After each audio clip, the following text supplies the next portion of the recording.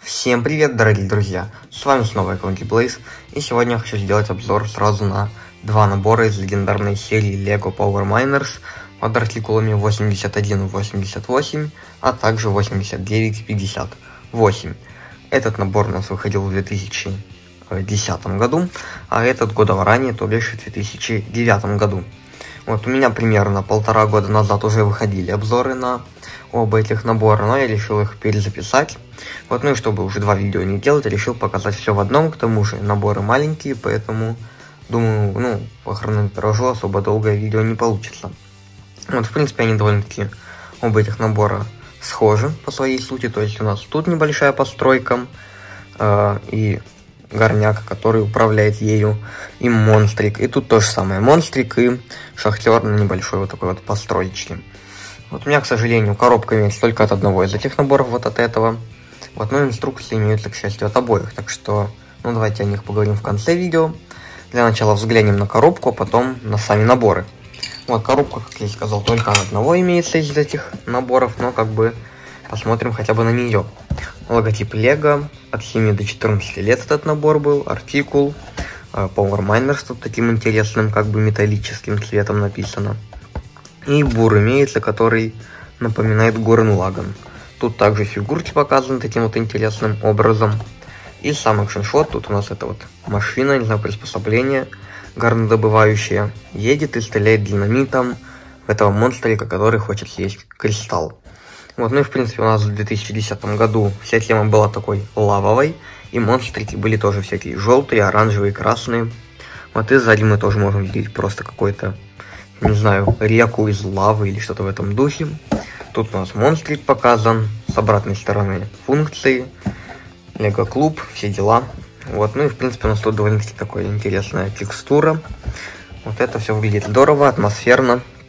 Вот, ну и давайте перейдем к самим набором. Начнем вот с этого, который вышел раньше и, по сути, является, не знаю, предком вот этого. Вот, ну, для начала, конечно, на, мини, на мини-фигурки взглянем, ну, как обычно. Вот, ну и начнем с такого вот монстрика, какой, по мне, он самый интересный. Ну и, в принципе, все мини-фигурки в Power Miners славились по большей части вот такими вот монстриками. Они довольно-таки похожие были, различались разве что цветом, то есть в данном случае у нас синий, были еще красные, оранжевые, желтые, зеленые и еще какие-то. Вот по функционалу у него только руки подвижны, вверх-вниз, и открывается его вот эта вот огромная пасть, у него тут два зуба, вот и внутрь можно положить или достать оттуда такой вот кристалл, тоже синего цвета, все логично. И выглядит довольно-таки здорово, неплохой монстрик, будто бы это какой-то булыжник, который я не знаю, просто получил жизненную силу и восстал, чтобы питаться кристаллами. Вот, ну и ему в руку можно дать что-нибудь, давайте, допустим, динамит, вот так вот это забавно будет выглядеть. Кстати, этот же динамит можно ему, я полагаю, сюда поместить. да, можно. Он его съест, и, по сути, это очень жестоко. Динамит у него прям во рту взорвется, и он просто, не знаю, его останки по горе раз, размажет это, да. Немного жестокий набор какой-то получился. Вот, ну и вторая фигурка. Давайте взглянем на нее. Это уже менее такой интересный персонаж. Это обычный шахтер, который занимается горнодобывающей деятельностью. У него двойная пропечатка на торсе и на лице. Тут такое вот полуулыбающееся лицо, но при этом немного испуганное. А тут более такой уверенный в себе, думает, что сможет победить всяких там монстров. Интересный шлем с такими вот трубками как бы респираторными. Руки вообще, кстати, на руки ничем не защищены, ну, кроме перчаток. Также имеется комбинезон и всякие кармашки, в которых приспособления интересные лежат. И тут даже фонарик висит на специальной цепочке. Ну, в принципе, фигурка обычная, примерно такие были во всех наборах. Power Miners отличались разве что лицами, ну и, может, парой незначительных элементов. Вот, что касается самой постройки, она как бы тут тоже разделена на две части. Имеется само такое вот небольшое приспособление, которое пробуривает путь вперед.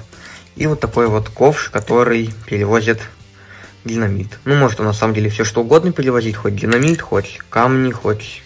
Да кого угодно он может перевозить. Состоит, состоит из одной такой оранжевой детали большой и цепочки, благодаря которой крепится к основной постройке. Вот, что касается основной постройки, как раз таки она небольшая, как вы видите, вот, но в ней имеется довольно-таки интересный функционал. Вот у нас тут э, гусеницы, и когда они крутятся, у нас вот этот вот бур приходит в действие. Вот тот самый бур, созданный, чтобы пронзить небеса. Вот, и как-то вот так вот это выглядит. Ну, на самом деле, по ровной поверхности это не так хорошо, но тем не менее, думаю, вы понимаете, как это работает. Вот так вот он движется и одновременно расчищает себе путь вперед. А, тут же имеются фонарики, чтобы освещать путь. Кабина, понятное дело, открывается, там сидит сам шахтер. Имеется топор, чтобы можно было башку кому-нибудь снести.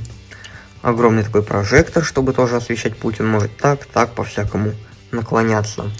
И сзади имеется специальная такая вот пимпочка, чтобы мы сюда могли вот эту вот цепь прицепить. И имеется два таких баллона. Вообще тут еще наклейка должна быть, но у меня, к сожалению, ее нету. Так что, ну, и так сойдет. Э, что в этих баллонах находится, честно не знаю. Возможно, какое-то топливо, газ или, возможно, кислород. Все-таки действие под землей э, происходит. Может, я не знаю, обвал какой-то случится, и ему понадобится кислород. Ну и, в принципе, такой вот небольшой э, наборчик. По наклейкам тут достаточно их много, но они от того не менее крутые. Всякие решетки, радиаторы, грязь везде. Опять-таки все логично, действия происходят под землей. Вот так мы закрепляем тут наш ковш. И как бы вот так вот он едет и везет его за собой. Что же касается второго набора, также давайте взглянем на мини-фигурки. Вот, дизайн монстриков самую малость изменился, в принципе, руки остались такими же.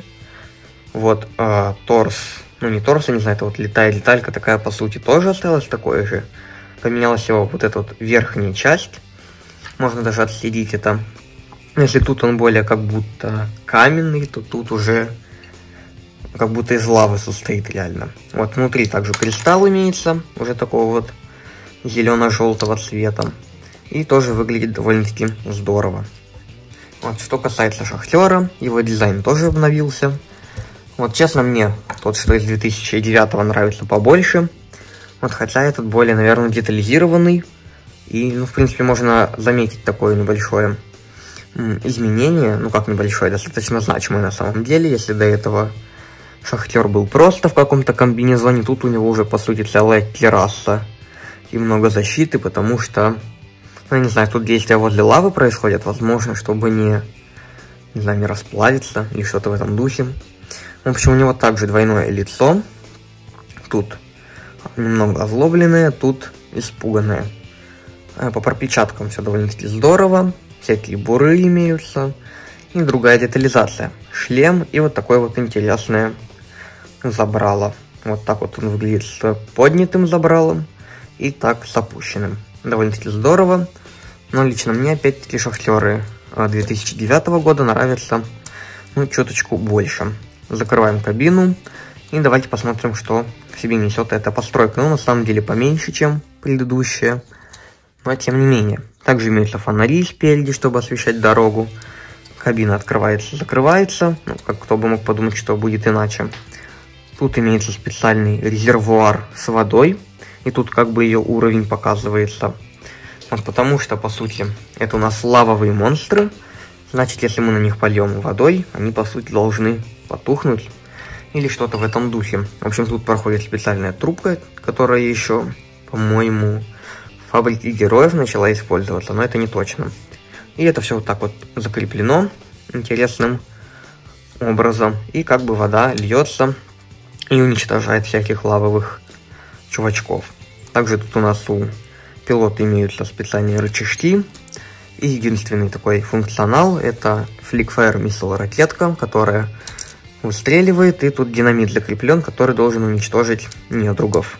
Ну, мы на него просто так вот щелкиваем, и он вылетает. Вот. И что еще можно сказать, в принципе, по тому, как он катается, катается нормально по любой поверхности. Колеса тут довольно-таки крутые, большие, никаких нареканий нету, так что думаю, ну и так все понятно, постройка небольшая, что тут как бы можно добавить еще. Теперь давайте взглянем на инструкции от этих наборов. Тут имеется инструкция как от одного, так и от другого набора. Ну, давайте начнем с того, что более старая, 2009 года. Тут у нас логотип Lego, артикул, Power Miners написано. Кстати, я сейчас заметил то, что другим шрифтом написано не так, как здесь. Тут у нас металлический такой на красном фоне, а тут желто-оранжевый градиент. И даже вот эта вот сигнатура тоже немного поменялась. Тут она более, не знаю, насыщенная по сути. Вот даже не знаю, какой мне нравится больше. Этот, по сути, лучше виден на коробке, а этот просто более такой интересный, что ли. Вот, ну и, в принципе, сам экшеншот. Тут у нас монстрик светится буквально, я не знаю, от счастья, по сути. И тут динамит бросает, в общем, все интересное происходит. Вот. И тут еще такая вот загрязнение имеется, как бы детализация. Сзади у нас рекламка. Тут у нас набор по Lego Star Wars по первому эпизоду с Энакином на Booster Fighter а, из Биониклов и набор Lego City, который у меня даже был, когда в 2009 или когда он там выходил. В общем, он у меня в те года был. Вот, но сейчас его, понятное дело, уже нету, к сожалению. 2009 The Lego Group. Открываем. Тут у нас Lego Клуб реклама. Стоит вот тут Такаши, Король Ревот и так далее. А также показаны э, комбинационные модели наборов. Тут у нас некий, я не знаю, дропшип по сути. Бульдозер и вот это вот, я даже не знаю, как это назвать. В общем, неплохие достаточно модели, некоторые, а некоторые странные. Идем далее. Тут у нас показаны наборы. Ну, не все, понятное дело, но самые основные показанные. Как раз таки вот этот вот наш 8958. Небольшой постер. Ну, хотя как небольшой, на самом деле он очень масштабный. Тут у нас Crystal Sweeper, офигенный набор, который я, к сожалению, купить не смог. И еще парочку других наборов. Кстати, вот как раз таки Crystal Sweeper. Вот и показаны монстрики различные, и в каких наборах мы их можем получить. У меня есть только синий и красный, и то есть другого набора, кстати. Вот, ну у нас еще есть оранжевый, такой салатовый и зеленый. Вот довольно-таки здорово. Далее у нас перечень деталей и сама сборка. Кстати, она не совсем обычная. Тут у нас на фоне имеется такой вот силуэт горы, какой-то горной породы, потому что, ну, стилизация, все дела. Вот, идем далее. И вторая инструкция, она, мне кажется, чуть менее интересная. Вот, ну, в принципе, она повторяет коробку в плане самого арта экшн-шота. Так что сразу смотрим, что сзади у нас тут. Это Орущий пацан, куча других наборов. Набор по Lego Agents, Power Miners, Индиана Джонс, Star Wars, Сики, Техник. Еще один Индиана Джонс, еще один Star Wars, Сики, Creator и еще что-то. 2010 The Lego Group. Далее у нас Adventures. Кстати, я раньше не замечал такой рекламки в инструкциях. Еще вот такой вот наборчик, но он на самом деле странный немного. Далее у нас еще показаны другие фигурки монстриков. Их всего три, к сожалению, достаточно мало, потому что ну, наборов тоже было мало в 2010 году. Красный, желтый, оранжевый такой вот большой лаватрас, который у меня, кстати говоря, был в 2010 году, по сути. Мне его тогда подарили, этот набор, но и сейчас его, к сожалению, уже нету. И также у нас тут имеется этот же силуэт горной породы, сверху можете видеть. И на этом как бы все. Обзор подходит к концу. Такие два довольно-таки крутых наборчика. К покупке рекомендуются. Ну, очевидно, в принципе, никаких нареканий в них нету. Вот, ну, понятно, их в магазинах уже не купить, только где-нибудь на Бриклинке и на eBay. В принципе, там все можете найти, они стоят достаточно недорого. Лично я брал примерно где-то долларов 10 или 15 за каждый. Да, но этот с коробкой был, так что... Да, этот, наверное, стоил 15, этот 10. Вот, ну и этот набор, кстати говоря, у меня был в год, когда он только выходил, в 2009 то бишь. Вот, но, к сожалению, у меня от него ничего не сохранилось, поэтому я купил новый. Да и еще такой забавный факт, это не точно, но возможно данный набор являлся вообще самым первым, который у меня появился из Лего, потому что до этого особо у меня наборов, по-моему, не было. Вот, но и то, что было, это я прям отчетливо помню. В любом случае, спасибо за просмотр, надеюсь, он вам понравился. Вот, в будущем, конечно же, еще будут обзоры на Power Miners. Вот у меня еще как минимум два набора есть и одна самоделка неплохая. Вот, ну а на этом все. Всем спасибо за просмотр, всем удачи и пока, друзья.